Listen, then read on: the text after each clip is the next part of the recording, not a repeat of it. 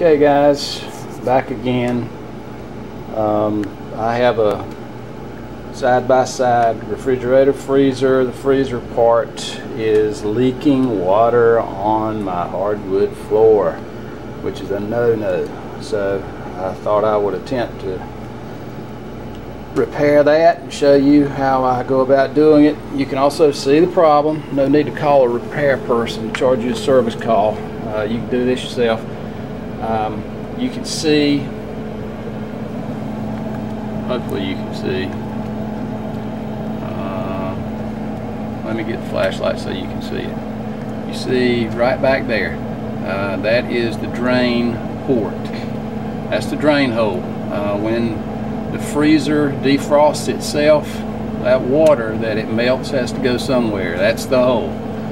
If it freezes up for some reason, there gets some debris in there, uh, clogs or prevents the water from draining and then that water will refreeze and you have a freeze thaw cycle. That water has to go somewhere and what it's doing is spilling out the front around the seal on my hardwood floor. So as I said that's that's something that I can't abide by.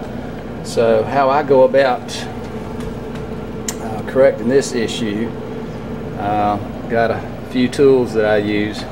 Uh, first of those is um, that is a plastic. You don't want to use anything hard if you can get around it. That's a plastic scraper. There you have a dead blow hammer. Uh, there's a five in one tool, and then I have this um, little spyglasses mirror that I can use to make sure that the drain hole is clear. Uh, so with no further ado, we'll get to work. Uh, what I try to do is to break it up a little bit with this dead blow hammer, then take the plastic scraper and or the um, 5 in 1 tool, being very, very careful uh, and, and, breaking up all that uh, ice and getting it out. Uh, this refrigerator is probably what 18 years old, maybe.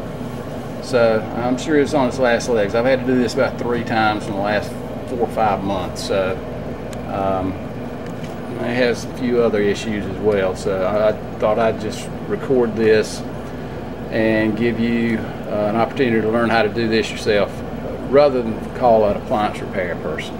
Okay, here I'm gonna get started.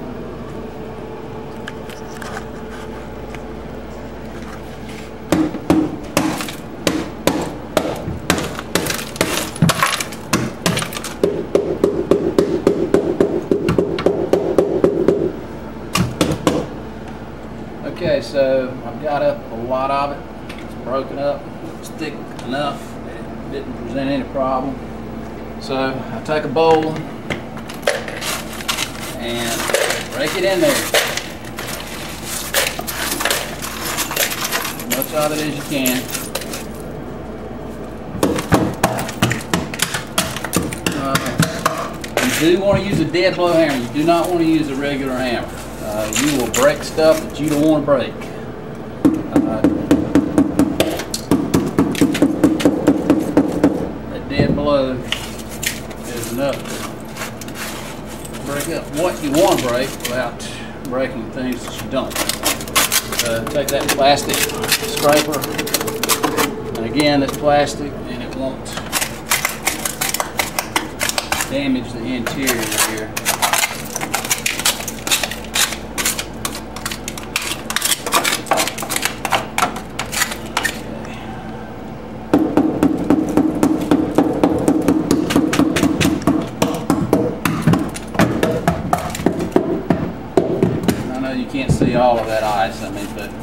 You want to get all of it that you can.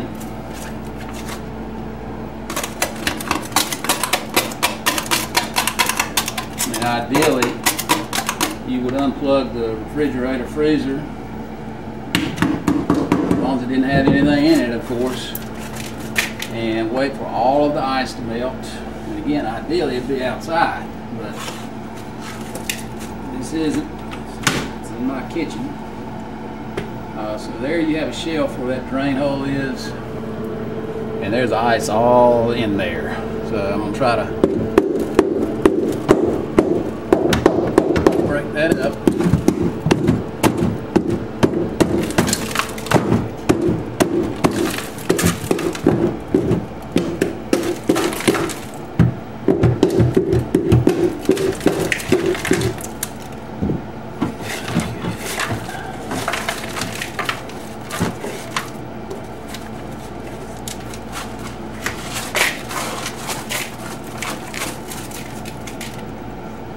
Get all of it out you can.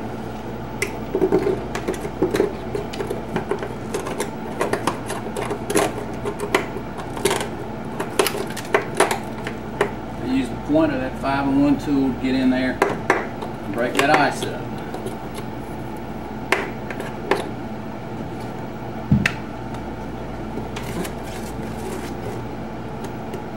Okay, so I've gotten ice out of it. Let's take my mirror and see if I can see anything in there.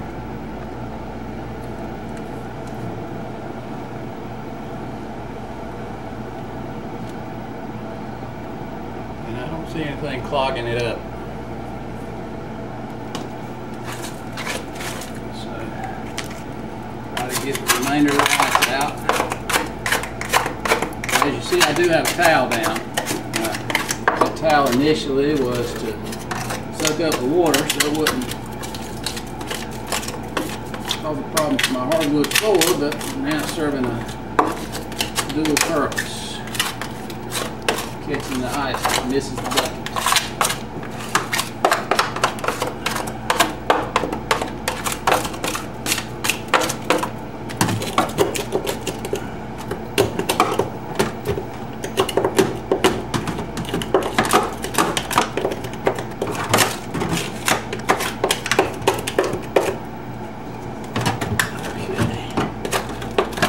About got all of it out.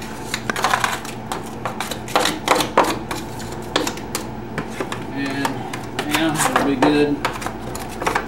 Take a towel, dry towel, and wipe it down.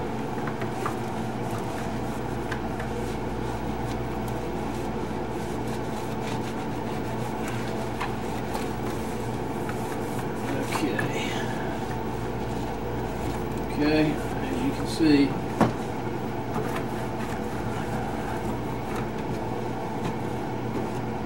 the hole is free and clear.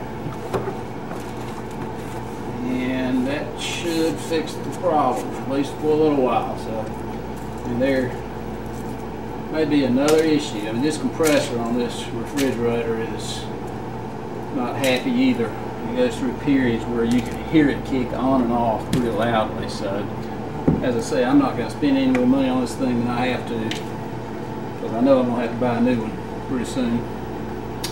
So, that's it. That's that's that's where the leaking water is coming from. Oftentimes in these newer refrigerator freezer units, if you see a puddle of water down here where ventilation guard is, uh, usually that's what it is. Uh, that drain plug is stopped up.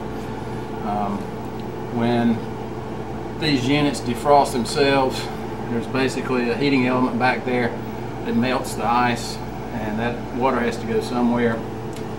And when that drain plug is stopped up, it's going to go on the floor. That's as simple as it is. Okay, hope you learned something. Um, I'll go about putting the rest of my frozen food back and I'll talk to you later.